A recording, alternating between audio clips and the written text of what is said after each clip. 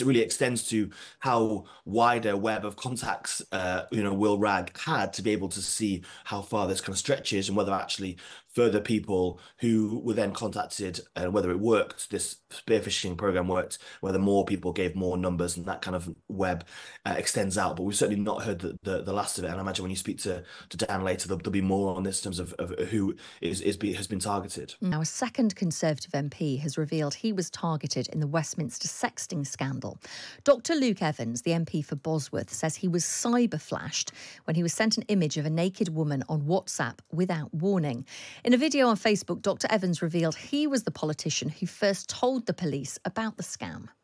Here's a video I didn't expect to make on a Friday evening, but a month ago I was a victim of cyber flashing and malicious communications and blew the whistle by reporting it to the police and the parliamentary authorities as soon as this happened.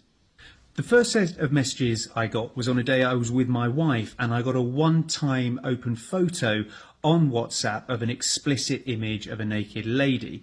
As soon as I got these, the next day I reported it to the police, the authorities, and the chief whip. Ten days later, I got another set of messages. This time, however, I was sat with my team in the constituency office, so we were able to record the conversation and catch photos and videos of the messages coming through, including another explicit female image. Why am I talking about this now? Well, I actually wanted it to be private because there's an ongoing investigation. It's been ongoing for, um, you've probably seen in the national media. I've been hounded by journalists asking me about it. It's not too difficult to work out. There are only a few Leicestershire MPs. So I've put my name up to say, well, I hope others come forward. I'm just pleased I blew the whistle, reported it to the authorities, and it's now being looked into. Well, let's speak now to Alain Tolhurst, chief reporter at Politics Home. Morning. Morning, Chloe. So it's interesting, isn't it, that uh, Luke Evans has come out uh, as an MP saying, look, this is what I received. It comes off the back, of course, of the Times reporting yesterday that William Wragg MP had apologised for basically passing on the personal phone numbers of staffers and lots of MPs to someone that he met on a dating app after exchanging explicit photos with them. It's like a drip drip at the moment, isn't it, Alain, with the information we're getting? And there's an ex MP who's also come out and a former staffer as well saying that they've been approached. Yes, and I think we'll we'll continue to see that number rise as people feel either emboldened to be able to come forward and say it, or in in, in Luke Evans's case, kind of forced to. He mentioned there that he's there are a few Leicester MPs. When we heard that Leicestershire Police were looking into it, I, I looked at the list of MPs. There's only sort of six male MPs, four of them are Conservative. It kind of didn't wasn't a hard process of elimination to work out who it might have, have been, and so I think there's a few more. Eventually, we'll, we'll get that to that point, and I guess it really extends to how wide a web of contacts uh, you know Will Wragg had to be able to see how far this kind of stretches and whether actually further people who were then contacted and whether it worked, this spearphishing program worked, whether more people gave more numbers and that kind of web uh, extends out. But we've certainly not heard the, the, the, last of it. And I imagine when you speak to, to Dan later, there'll, there'll be more on this in terms of, of who is, is be, has been targeted. Mm. I mean, one of the things that's really interesting from this is um, an ex uh, staffer for an MP, sorry, a staffer from an MP said, actually, my, I was approached through this this same process, but actually, I don't ever recall meeting William Wragg. I don't know why William Wragg would have a number, which begs the question that maybe that's not the only way that this sexting scandal had. You know, the numbers. There are other people who were involved. Has there been a different approach? And indeed, what is the motive for it? Yeah, completely. And I, I think that there's probably a couple of reasons, a couple of examples there. You, you know, it might be that you know, people are, are, part of WhatsApp groups, MPs are part of WhatsApp groups for different committees they're on or different events they go to. And so there's a chance that those numbers are accessible. We, you know, as, as a reporter, you're always searching around for, for numbers and you put up spreadsheets of, numbers together. Or it may be that that that person didn't meet Will Wragg, but someone else that has been contacted through Will Wragg does have their number.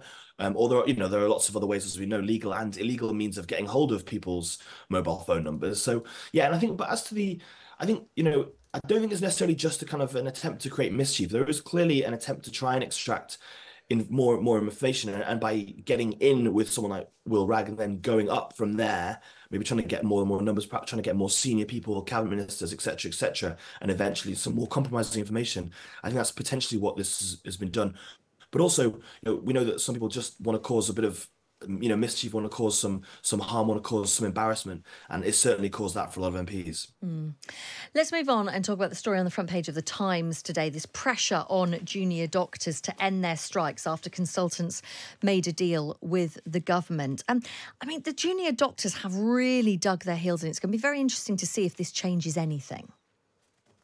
Yeah, I mean, yeah, there was a point at which they were sort of both the consultants and the junior doctors were in in lockstep. They both went on these joint strikes or concerted strikes and stuff. But they've, you know, it, the junior doctors are pretty firm on this 35% figure, and the government obviously don't want to go that that high. And there's been a real lack of even talks. We know that Victoria Atkins, the health secretary, has had recently talks about talks. That's as far as it's got. So whether this will affect them, I'm not really sure that it necessarily will. We know that the junior doctors are more than happy to carry on this work. They're more than happy, and they've still got you know support within their base there's less public support than there was for these strikes for the longer they go on. But I wonder if they see the election in sight and think there's a good chance of them being able to push this all the way up to an election. Obviously, the government would love to say they got this stuff resolved and we're starting to tackle those backlogs. But I think the, the junior doctors are pretty firm on the 35%. So they won't be coming down from that mountain anytime soon.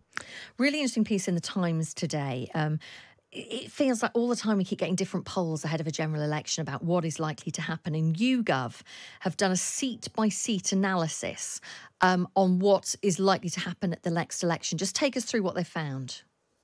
Yeah, so unsurprisingly, they, they're suggesting that Labour are going to get a, a massive majority, around 154 seat majority, so an enormous landslide. But what's interesting is that their their vote share has not is not sort of universally picked up across the board.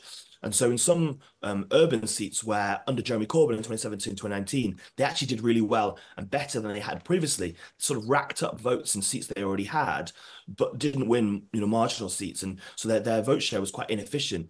This makes it seem like their vote share is actually going to be more efficient. They're not going to win those seats in cities by as many votes, but in a sense, that doesn't really matter. And they're picking up seats elsewhere. And we're seeing kind of the reverse that happened in 2019, where in the seats that uh, the Tories flipped from Labour, it wasn't necessarily about the Tories racking up loads of votes. It was the Labour's vote share sort of collapse. What we're seeing is kind of the reversal of that by this showing that either um, you know, in those seats that the Tories have held for a while, and certainly since 2010, their vote share is is falling massively, either by voters just not turning up for them, or by going to Reform, who obviously are standing in, in as we imagine, every single seat. So it's a very good poll um, for Labour, and it kind of shows the real the real breadth of, of, of, difficulty that Conservatives find themselves in. Mm. And you mentioned Reform UK. I mean, the Eye reporting today, they've got the highest polling yet.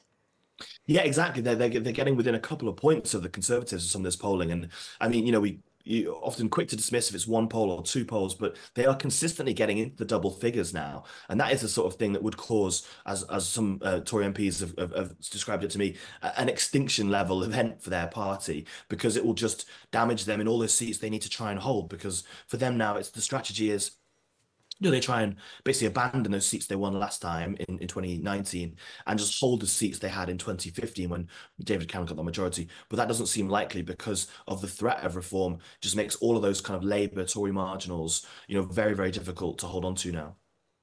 Um, I want to ask you as well about an exclusive interview in the Times today with the Met's Director of Intelligence, Lindsay Chiswick, making quite an, an, incredible statement about the use of facial recognition and that technology, how it's essentially changed policing.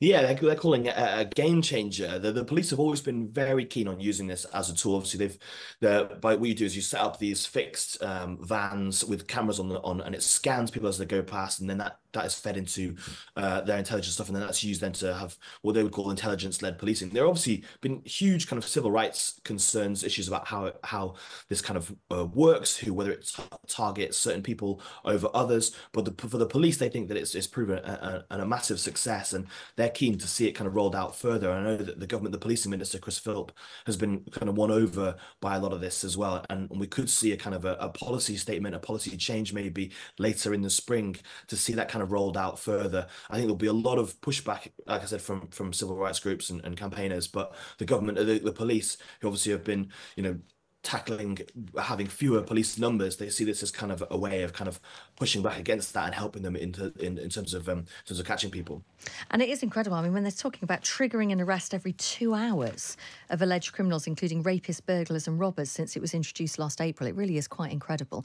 Um, and finally, I want to ask you as well, Alain, about um, Nadhim Zahawi writing in the Times today, basically calling for a complete overhaul of the post office. What's he suggesting? Yeah, he's basically saying that it's it's completely damaged, essentially. In a, you know, he says as a brand, um, as an institution, a place of work, that it's it's completely gone. And he points to things like the fact that they've spent twice as much money on lawyers as they have on compensation so far. And so things like the the payouts for those involved in the Horizon scandal, and actually, if it's to continue into the 21st century, which is already facing lots of of, of difficulties, that it needs to be completely changed. It needs to be perhaps um, you know the different bits that were split up, brought back together, a new name, new leadership, and and completely changing it. Which I think you know, given what we've seen, and and, and there's another story in the Times today about uh, the widow of, of, a postmaster who committed suicide being denied payment um, in, under this compensation scheme. I can understand why, you know, it feels like if there is to be trust again in the post office as an institution, there has to be such a huge change basically in, in the way that it operates. Mm. Really interesting stuff. Thank you ever so much. That is Alain Tolhurst, who is chief reporter at Politics Home. And you can read that comment piece by Nadhim Zahawi. If you've got a digital subscription now, you can go online. It's in the comments section. Um, you can go onto the web, the web, That'd be the the app or the website.